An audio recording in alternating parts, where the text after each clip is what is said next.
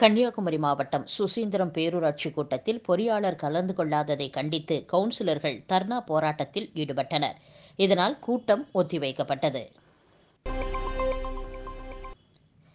திருச்சி ஸ்ரீரங்கம் அரங்கநாதர் சுவாமி கோவில் யானை ஆண்டாளின் பிறந்தநாள் சிறப்பாக கொண்டாடப்பட்டது.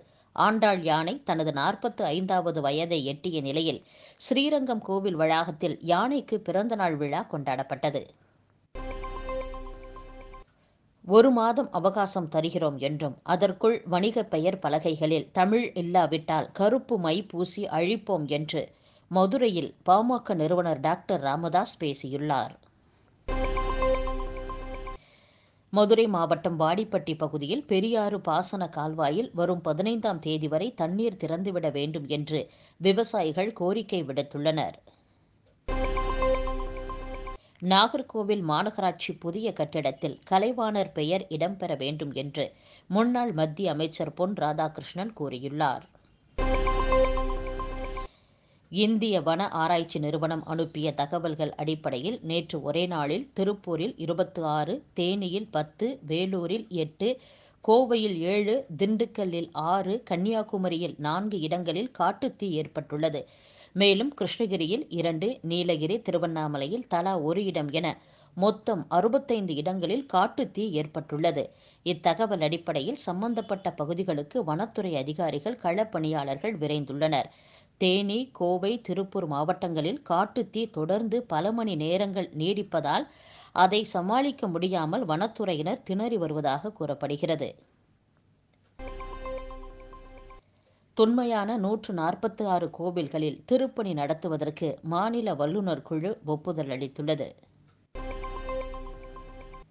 குமரி மாவட்டத்தில் அடிக்கடி விபத்து ஏற்படும் இடங்கள் குறித்து ஆய்வு செய்து அறிக்கை தாக்கல் செய்ய வேண்டும் என்று சம்பந்தப்பட்ட அதிகாரிகளுக்கு மாவட்ட ஆட்சியர் பி என் ஸ்ரீதர் உத்தரவிட்டுள்ளார். முன்பதிவு டிக்கெட் இல்லாமல் முன்பதிவு பெட்டியில் வட மாநிலத்தவர்கள் பயணிக்கின்றனர். ரயில்களில் தொடரும் வட மாநிலத்தவர் தொழிலாளர்களின் அத்துமீறலால் முன்பதிவு பயணிகள் கடும் அவதி அடைவதாக கூறப்படுகிறது.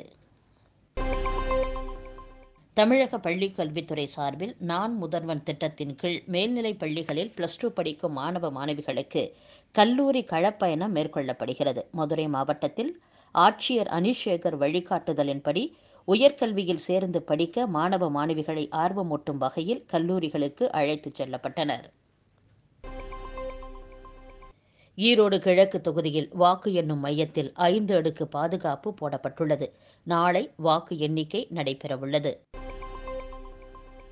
சென்னை விமான நிலையத்தில் பல ஆண்டுகளாக கிடப்பில் இருக்கும் மூன்று விமானங்களை அப்புறப்படுத்துமாறும் அதற்கான நிலுவைத் தொகைகளை செலுத்துமாறும் சம்பந்தப்பட்ட நிறுவனத்திற்கு விமான நிலைய நிர்வாகம் மீண்டும் நோட்டீஸ் அனுப்பியுள்ளது.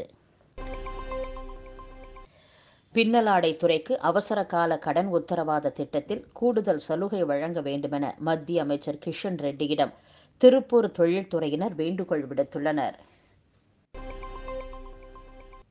முதலமைச்சர் மு க ஸ்டாலினுக்கு பாஜக மாநில தலைவர் அண்ணாமலை பிறந்தநாள் வாழ்த்துக்கள் தெரிவித்துள்ளார். ஜாக்டோ ஜியோ அமைப்பினர் வரும் ஐந்தாம் தேதி உண்ணாவிரதம் அறிவித்துள்ள நிலையில் முதல்வர் தங்களை அழைத்து பேசி கோரிக்கைகளை நிறைவேற்ற வேண்டும் என்று கோரிக்கை விடுத்துள்ளனர். பொள்ளாச்சி கிணத்துக்கடவு பகுதியில் இருந்து கேரள மாநிலத்திற்கு கனிம வள கடத்தலை தடுக்காவிட்டால் சோதனை சாவடிகளில் களமிறங்கி போராடுவோம் என்று பாஜக மாநில தலைவர் அண்ணாமலை எச்சரிக்கை விடுத்திருந்தார். இதனையடுத்து சோதனை சாவடிகளில் கண்காணிப்பு குழு அமைத்து மாவட்ட நிர்வாகம் நடவடிக்கை எடுத்துள்ளது.